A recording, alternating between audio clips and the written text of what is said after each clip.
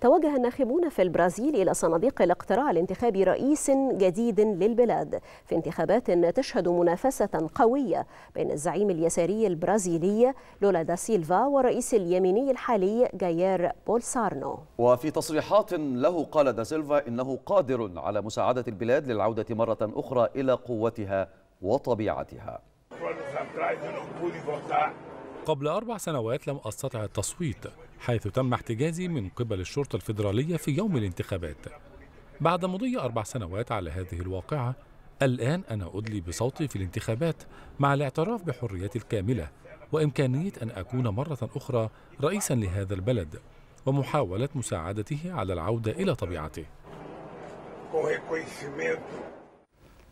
من جهته أدلى الرئيس البرازيلي الحالي جاير بولسونارو بصوته في الجولة الأولى من الانتخابات الرئاسية. في كلمة له دعا بولسونارو البرازيليين إلى المشاركة بفعالية في هذه الانتخابات مشيرا إلى أن صوت الشعب يحمل أهمية كبيرة وأوضح أنه تم العمل من أجل إجراء انتخابات نزيهة تعبر عن إرادة الشعب البرازيلي.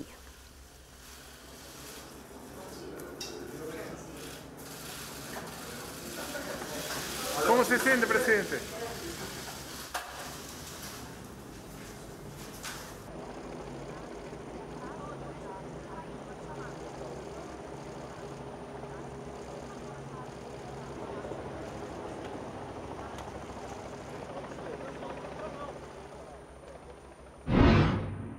انتخابات رئاسية تشهدها البرازيل يتنافس فيها أبرز مرشحي البلاد الرئيس اليميني المتطرف جاير بلوسونارو مع مرشح اليسار الرئيس السابق لويس إيناسيو لولا دا سيلفا. ودعي أكثر من 156 مليون برازيلي إلى التصويت في البلد التي تقع في أمريكا اللاتينية. وفي السادسة والسبعين من عمره يسعى لولا دا سيلفا رئيس البلاد من 2003 إلى 2010 والعام العامل السابق في قطاع المعادن وصاحب المسيرة الاستثنائية لولاية جديدة ثالثة تؤمن له عودة لم تكن متوقعة بعد أربع سنوات من سجنه المثير للجدل لشبهات فساد. في المقابل تراجعت شعبية الرئيس اليميني المتطرف والبالغ من العمر 67 عاما بسبب أزمة كورونا والمشاكل الاقتصادية والاجتماعية في بلد يعاني فيه أكثر من